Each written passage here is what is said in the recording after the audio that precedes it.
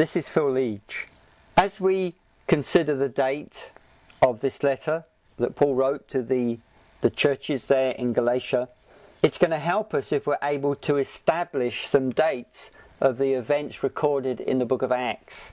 Now, dating in Scripture is notoriously difficult, and the reason is because the authors of these different books, uh, their goal and their intention was not to give chronology and dates in the way that we may be interested today as we look back in history.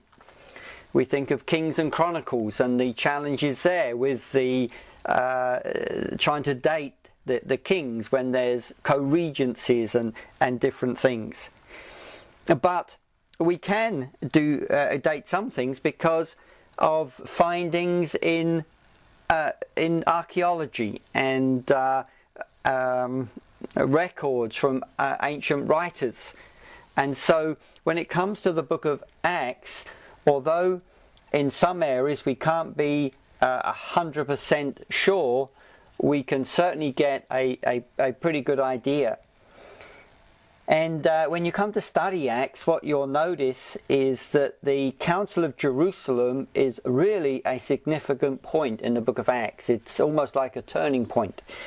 And in our desire to, to date uh, the, the events in the book of Acts, there are some things that can help to establish the date of the Council of Jerusalem. So, although Luke doesn't give us a date for that, we, we do know some things. And the date of this council can be established in two ways. One, by some events that happened before, and some events that happen afterwards. And so, again, we can't be absolutely 100% certain, but we can get a pretty good idea. And so, uh, one date that we know is the death of King Herod, recorded in Acts 12. We know the date of this because of the writings of Josephus, and we're able to uh, date that event in AD 44.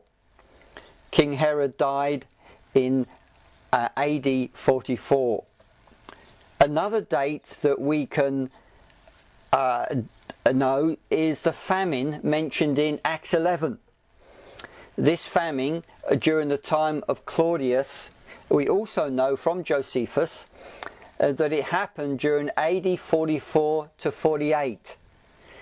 And so we can give an approximate date of the visit by Paul and Barnabas to Jerusalem. And uh, just as a guesstimate, we could see that about AD 46. Now, uh, if we uh, look at the evidence we have in the book of Acts, we read that Paul and Barnabas spent time in Antioch after their visit uh, to Jerusalem to take the gift to to help with the uh, help relieve the, the victims of the famine there. And as we look at the missionary journey of Paul, we're able to estimate that this was about 18 months just by reading the places he visited, the travel time from one to another, what happened in these different places, the journey back, we can uh, estimate about 18 months. And then Acts 14:28 says that after he had finished the first missionary journey, he spent no little time in Antioch, back there in Antioch of Syria. Uh, a wonderful litotes of Luke there, you'll notice. But what that means, it was a, a fair amount of time that he spent in Antioch. So if we add this together, we can estimate that this is about three years. And with that uh, adding together, it brings us to the Council of Jerusalem being approximately AD 49 uh, we're also able to consider some other things too from after the Council of Jerusalem. We know that uh, uh, Claudius expelled the Jews from Rome uh, in AD 49. Again, we, we know this from the uh, ancient writings and we read that the reason Claudius expelled the Jews was because in the Jewish parts of, of Rome there was fighting and rioting.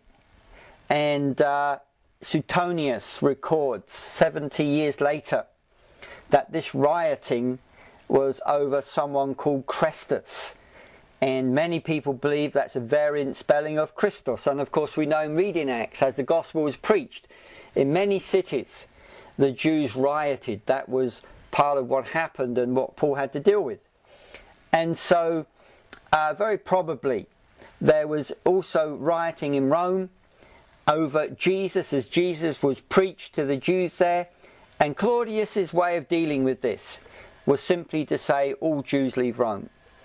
And when we look at, at Acts 18, we read that Priscilla and Aquila had recently come from Rome. This is Acts 18, verse 2. There they found a Jew named Aquila, a native of Pontus, who had recently come from Italy with his wife Priscilla because Claudius had ordered all Jews to leave Rome. Paul went to see them and so on and so forth. And so, uh, as a suggestion, uh, Acts 18.2 would be about AD 50. And another date that we can identify uh, very specifically was the proconsulship of Gallio. In Acts 18 again, in verse 12, we read, But when Gallio was proconsul of Achaia, the Jews made a united attack on Paul and brought him before the tribunal. Now, there's an inscription that was found stating that Gallio was a proconsul of of Achaia and were able to date that to AD 51 to 52.